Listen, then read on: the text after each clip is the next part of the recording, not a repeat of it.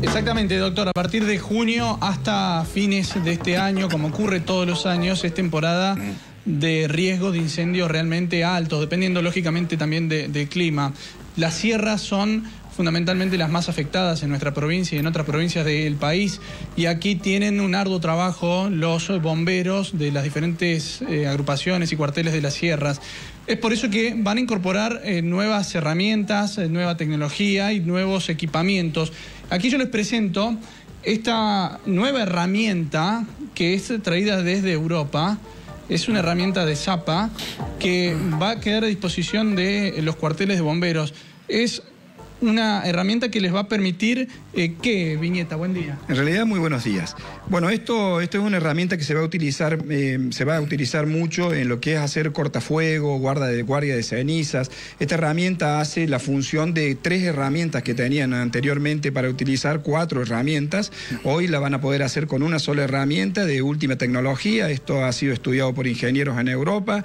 Estamos muy contentos desde el gobierno de la provincia de Córdoba con este sistema nuevo plan de fortalecimiento de los cuarteles que veniendo haciendo ya tres años este procedimiento, entregando el equipamiento, equipamiento de última generación. Podemos decir que nuestros bomberos hoy están trabajando con equipamiento que trabaja exactamente un bombero europeo, un bombero americano.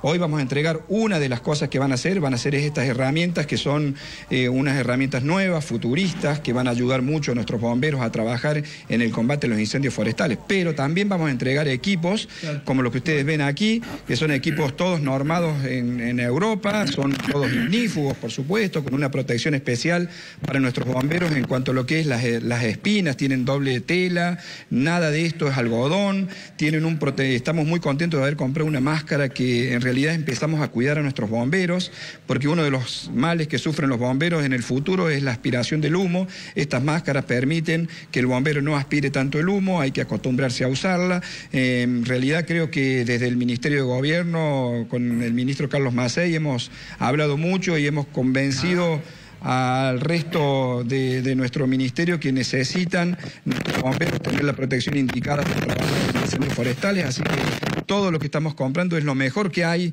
en realidad en Europa y creemos que va a ser muy satisfactorio para nosotros comenzar la entrega de estos equipamientos a nuestros bomberos. Claro, eh, son entregas que se hacen en toda la provincia. Mañana arrancan en Carlos Paz para las agrupaciones serranas, que en definitiva, a ver, no vamos a herir susceptibilidades, pero los bomberos serranos son nuestros verdaderos superhéroes que definen eh, eh, diferentes tareas a lo largo del año como consecuencia del fuego que arrasa a veces en, las sierras. ¿no? Sí, la verdad hay algunas características características especiales con los bomberos de la sierra, pero yo diría que superhéroes son todos nuestros bomberos en la provincia de Córdoba, porque la, sierra tiene un gran trabajo, pero también es cierto que nuestro llano tiene un gran trabajo, hemos tenido muchos campos quemados, cosechadoras, accidentes, los bomberos en realidad son superhéroes en, en toda la provincia, y si bien cierto, en la sierra se gasta un poco más el equipamiento porque el trabajo es diferente, trabajar un campo que trabajar en la montaña, en donde el uniforme, la ropa se rompe, las espinas, los arbustos, pero consideramos que todos los bomberos, por eso la entrega no es solamente en la sierra. Empezamos ahora en Carlos Paz,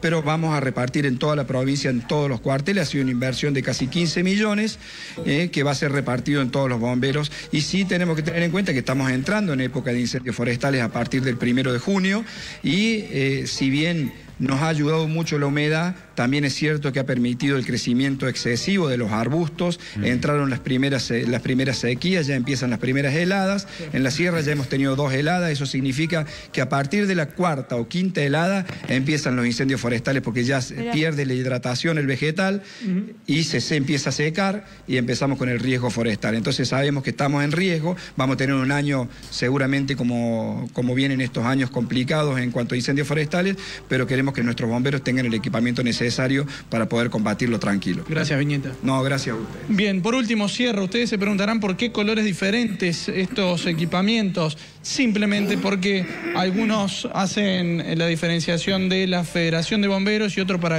otro tipo de agrupaciones, pero cualquiera de los dos colores son los válidos.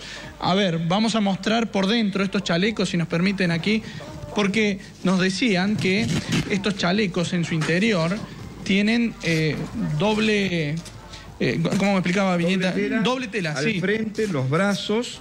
Claro, que son por una cuestión tan esencial en las sierras que es eh, la cantidad de espinillos que hay, que son los que terminan dañando a los bomberos cuando están en realidad combatiendo el fuego. Ninguna duda, las espinas han lastimado mucho a nuestros bomberos y esto fue una solicitud expresa del gobierno de la provincia de Córdoba, junto con una mesa técnica que es Federación y Agrupación, que decidimos lo mejor para nuestros bomberos.